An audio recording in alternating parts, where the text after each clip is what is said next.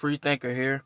Um, I was just thinking, you know, while I'm on break, I was just thinking, like, cause I was listening to um Big Bay talking about, you know, goodbye to the um, U.S. dollar, right? And he mentioned something, um, a good topic in his um video, and I was like, and I had put it in the comment section, cause I want everybody to see and see what I say and how I think and stuff like that, right? So basically, he was talking about um chattel slavery and stuff like that, and that they would hang you if you didn't you you know basically com- comply. But modern times they basically write you up or they um, terminate you. You see what I'm saying? But back then they hung you. Um, also, I wanted to talk about this short because this this is a short video. I'm on break, so I was thinking like, why do so-called black people or any race of people rob somebody else?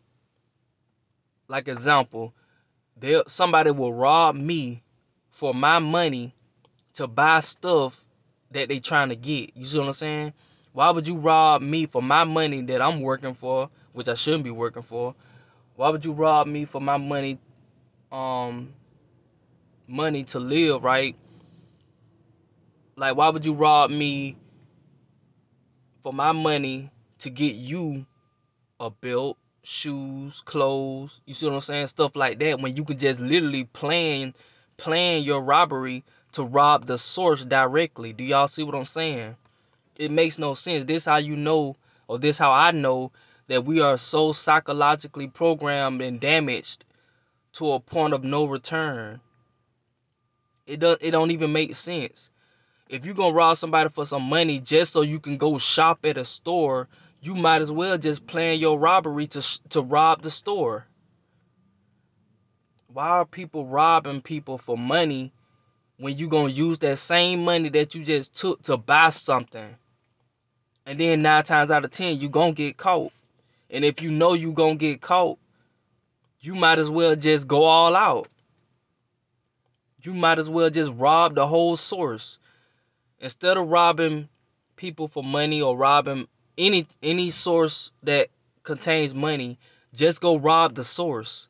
Cause that's what you're gonna that, that's the purpose of you getting the money so you can go take um, what you're trying to buy. You see what I'm saying?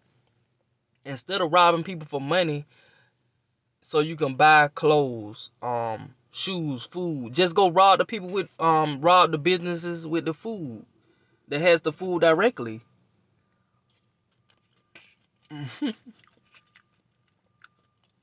that just but that just my thought process.